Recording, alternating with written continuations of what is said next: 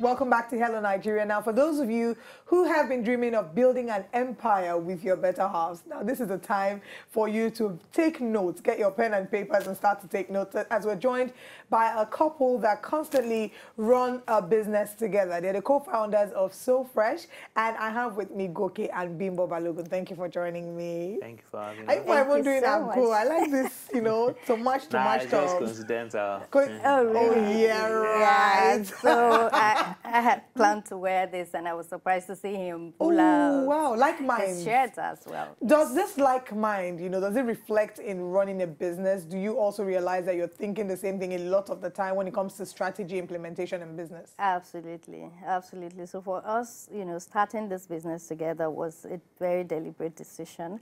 It wasn't what we must do. We took that decision because we can see that we share similar values.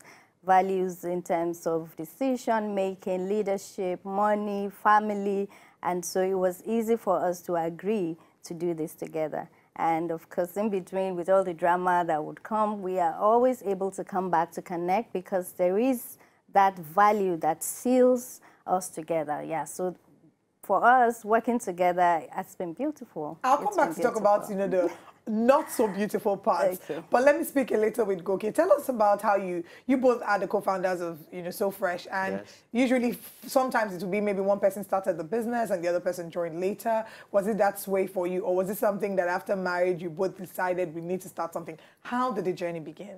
Um, so we basically, you know, started together. Um, so I had the idea, you know, I, I, I got the inspiration, and then I shared it with her. And so together, right from the planning stage, from the decision stage, from strategizing, you know, envisioning the road to market and all of that, we did all of that together. And um, so I was in, you know, like full paid employment. Um, she had always run her own, you know, private business. So she had more time at the beginning. So she was a bit more focused on it. And then like after two years, she even, you know, left her law practice to focus 100%. Really? I was still 50-50 for about another three years until I also left my my own primary assignment as well at that time. And then both of us focused 100%. So we've always been in it Right together from the right from the beginning. start. So you both left your different backgrounds. What was your background before you um, swung into this fully? Sorry about chemistry, but I've had experiences across different lines: marketing, sales, business development, operations, production, oil and gas. I also worked in the food industry for like six months at um, Mr. Biggs. right? So at the end of the day, then, you, are, you have found yourself in the right path again, back to doing eventually, food. Okay, yeah. let's people. Let's now that you you've given up your practice in law, you know your law practice for doing this business full time. Okay. Given the benefit of hindsight, if you knew that you were going to end up in food practice, would you still have studied law? I'll say yes.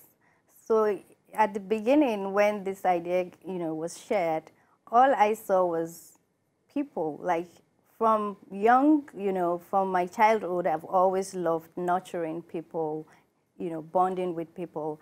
And so when we moved to Lagos, I went for my HR professional certification. So as an HR professional, all I saw was people because the business model was retail. So there's no way we are going to be opening stores without having people to train and to build teams. So that's knowledge, my background in law in terms of helping to, you know, arrive at, you know, good judgments when you're dealing with people, it has worked really well, you know, for me now. And so now I even help businesses build teams and help them to lead well. With So for those of us who are who are not practicing with what we studied in school, please do not feel bad. At the end of the day, no knowledge is lost. At There's always a way to implement the knowledge gained from university. And And apply the interest is it. that it, it, it all connects. Um, so like like I said, you know, I, I worked in the food industry for a while. I never knew at that time I was going to run a food business. I was in operations. I didn't know I was going to have to run operations. But you know, starting this business, everything I learned in at different stages of my life all came together. You know, it all it's all making sense now. Let's talk about you know division of labor. How did you decide who does what? You know where one person's jurisdiction starts and ends in terms of reaching the final decision for the company. So it was very easy. So right from the start, we what we, we play to our strengths. So, you know, Mm, that's what are your strengths? Mm-hmm. What are your expertise? What are you good at? You know, it was never What do you a case enjoy of, yeah, doing what do you enjoy doing? What part of this business do you enjoy doing? So, we we separated that right from the start, and everybody had their own roles. Of course, even as, as as it evolved, you know, we we switched roles. So there was a time, you know, I was like also in charge of HR, and then she was in charge of operations. So per time, we try to separate the roles so everybody is clear what they're doing in the business. We are not in, infringing on each other's, you know, rights. So you know, it has always been I'm looking at this, your strengths and sometimes what do you like to do at the current moment. So there was a time, you know, like, you know, I, I said I wanted to try my hands on something different I'd not done in the business before. And then, you know, I, I did that and then she switched roles. So, you know, we've always just, you know, moved in and out, you know, like that. You know, Now, you, you, both of you sitting here looking all sweet, wearing anko and giving us this sweet gist, makes it look like it's such a beautiful journey without hiccups. Let's talk about the hiccups, Bimbo. How would you, how, what would you say have been some of your biggest challenges working together as a couple, knowing that, you know, this time around is not, is not, you're, you're keeping the emotions aside and knowing that whatever you can do at home, you probably can bring to the office. How has it been managing emotions in the workplace? Yeah, so from at the beginning, it was quite hard for me to switch, you know, in between playing my role as a wife and at work, you know, as uh, a business partner, so to say. And so I remember vividly an experience where I was trying to chat him up to tell him about what's going on in business and maybe applying for something. He told me to send a mail. Like, I can't do this on WhatsApp. I was, in my head, I'm like, really?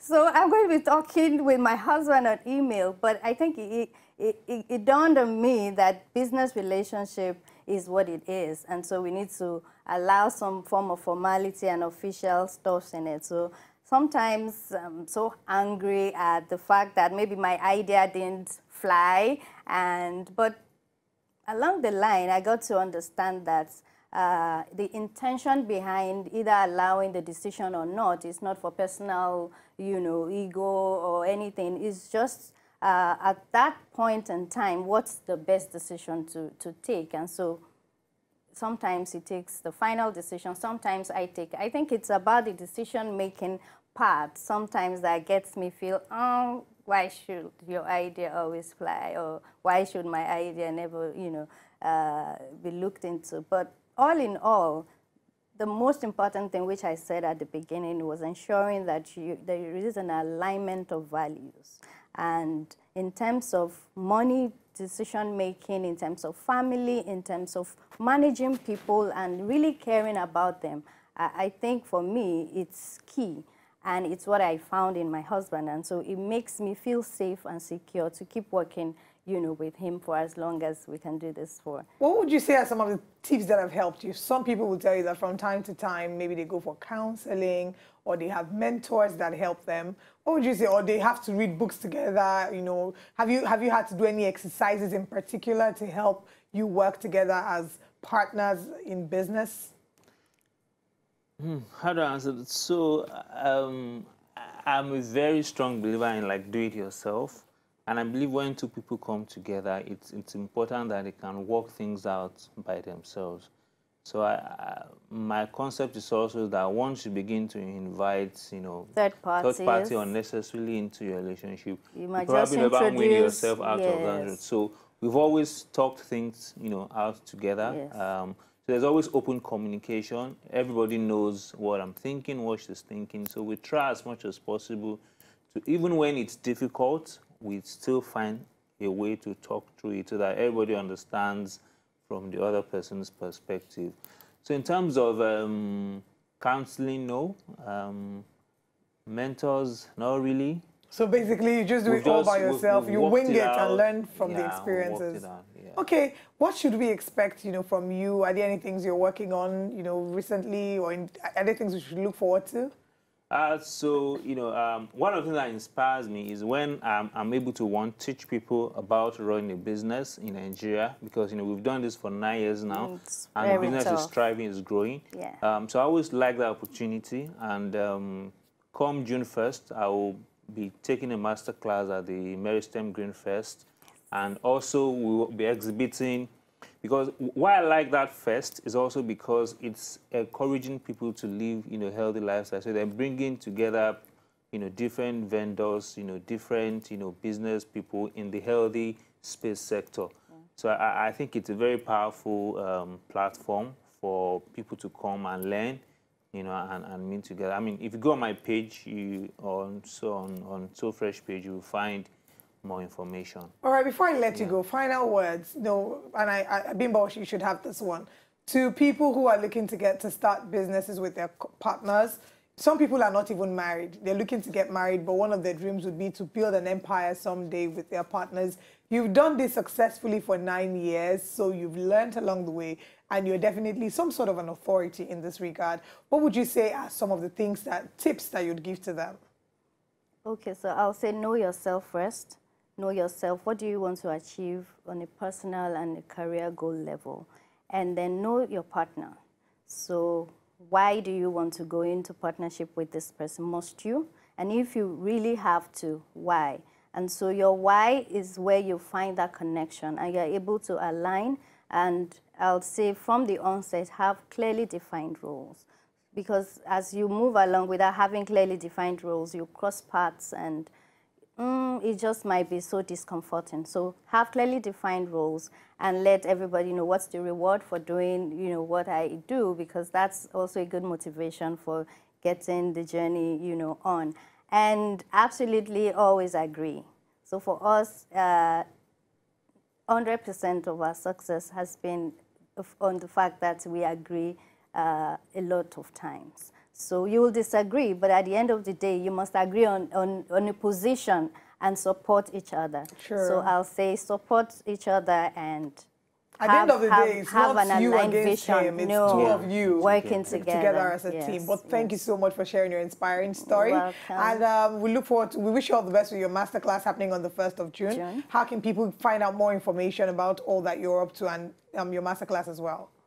Okay, so they can go on SoFresh page, and we're also partnering with um, Meristem, so they can go on their page on Instagram as well and find, you know, details, register. It's a free event. Oh, and it's brilliant. Going to be, it's going to be all day. Yeah. A free event. And there are also other fantastic, you know, speakers that have done so well in their fields as well. Okay. All right, so you know we're all about giving you back and empowering you and ensuring that you live the best quality of life. So if you're interested in learning how to navigate through these waters of running a business with your spouse and learning a lot about healthy eating, uh, healthy living, it's a free event on the 1st of June. Please visit the Meristem page for more information. To enjoy more of these our Ubunke videos when you just watch, press this button to subscribe on top of our YouTube page. You go love her.